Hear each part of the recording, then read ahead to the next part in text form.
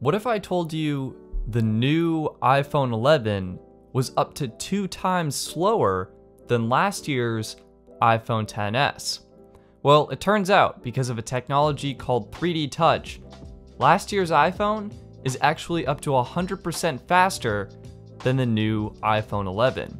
What 3D Touch was, was a pressure sensitive layer embedded beneath the glass and the display that registered the X and Y coordinates of where you were pressing and detected how hard you were pressing there. This was a step up from the technology found in the Apple Watch, which had Force Touch and could register how firmly you were pressing, but not where you were pressing. With the new iPhone 11, Apple decided to get rid of this feature. Now, this had its benefits as the 3D touch layer was between the glass and the display, and by removing that layer, Apple was able to increase the size of the battery. It's one of the reasons the iPhone 11 gets such excellent battery life. However, because they removed 3D touch, Apple replaced it with something called haptic touch. Instead of pressing firmly to activate secondary actions, you now tap and hold your finger on the display and have to wait for the phone to respond. This extra delay may not be noticeable by some, but as someone who uses this feature on a daily basis to make my tasks faster and easier, such as opening a new tab, sending a new message, composing a new email, or quickly checking the weather, this delay really adds up, and it makes the new iPhone 11 feel much slower than last year's iPhone. To find out exactly how much slower, I put the two technologies head to head and I filmed them in slow motion at 60 frames per second. One of the things I do most is open a new tab in Safari. Here you can see 3D Touch has a noticeable speed improvement. The iPhone 11 seems to almost lag behind. Another useful feature is previewing a link and then opening it in a new tab. Here again, an action I do every day is much faster thanks to 3D Touch. You can see 3D Touch opens the new tab well before the iPhone 11 does. Composing a new message is something I do all the time. I love using iMessage. But when it takes what feels like a full second slower on the new iPhone, it's really annoying. Here you can see the old iPhone XS opens the message composition window before the Messages app even opens on iPhone 11. That's how much of a difference 3D Touch makes.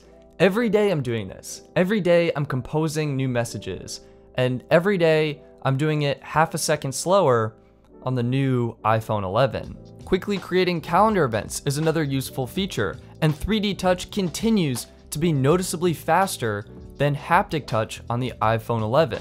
The same thing goes with creating a new reminder in Apple's Reminders application, or heck, any application. It's just quicker to respond with 3D Touch. A great example of the time difference is the weather application. With 3D Touch, the widget opens almost instantaneously.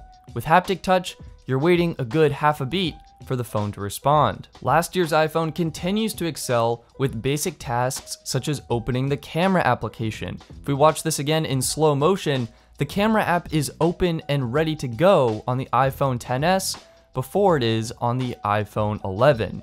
3D Touch also made your control center feel faster. You could more quickly jump into the context menus, change settings, and set timers. With the new iPhone 11, everything just feels a beat behind what you were able to do with last year's iPhone. Now it's true the difference here is a little less noticeable, and the truth is with some of the icons you can simply tap on them as opposed to having to 3D touch or tap and hold, but still I do feel 3D touch provided a better experience and I felt I got more immediate, satisfying reactions. The reason this is so important to me is these are the little things I do every day, and being able to do them that much faster makes a big difference. Wouldn't you want your phone to be faster at the little tasks you have to do every day? I certainly do, and that's why I don't think I can upgrade my iPhone XS. Now, if these examples haven't convinced you yet, take a look at text editing and text manipulation. With the old system of 3D Touch, you could 3D touch anywhere on the keyboard to move the cursor around. It's like the keyboard is now a trackpad. Haptic touch on the iPhone 11, on the other hand, only works on the spacebar. You can't press and hold just anywhere. Only the spacebar. You press and hold on the spacebar to move the cursor around, and you get the same trackpad experience. The next difference is in selecting text. With 3D Touch, you press hard over a word to select it, and you can move your finger to increase your selection. The selection snaps to each word, making it easy to select and replace text. With haptic touch, you need a second finger, or preferably a second hand, to make a selection. You tap to start the selection, and then you drag your thumb to expand the selection. The problem is that with haptic touch, the selection does not snap to each word. Instead, it expands by character. This makes it easy to select more than you intend to, and then you have to start over. With 3D Touch, not only does it snap to each word, but if you want to deselect, you just press down firmly on the keyboard. And then to make a new selection, you press firmly on the keyboard again. With the shortcut of pressure sensitivity, 3D Touch makes selecting, editing, and writing a breeze on an iPhone. Perfect for writing social media posts, sending texts, composing emails, or doing any other text related activities on your iPhone. With haptic touch on the iPhone 11, it's easy to move the cursor around, but it's slower and more cumbersome to make selections and edit text, to the point where I don't even use the feature anymore. This video has been about my love for 3D Touch, and this is my polite plea to Apple to please bring it back. With 3D Touch, you had created something magical, delightful to use, that made the normal, everyday user experience of using iPhone that much better and that much faster. And now, with the new iPhone 11 and iPhone 11 Pro, you've made everything meaningfully slower again. So please consider bringing back 3D Touch. I honestly don't think I can upgrade without it. If you're interested in picking up an iPhone XS, the last greatest iPhone with 3D Touch, you can find them for around $400 to $450 gently used on Swappa.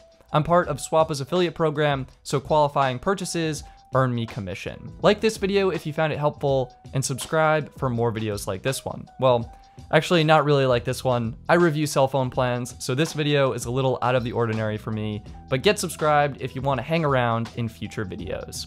I'm Stetson, thank you for watching, and I'll see you next time.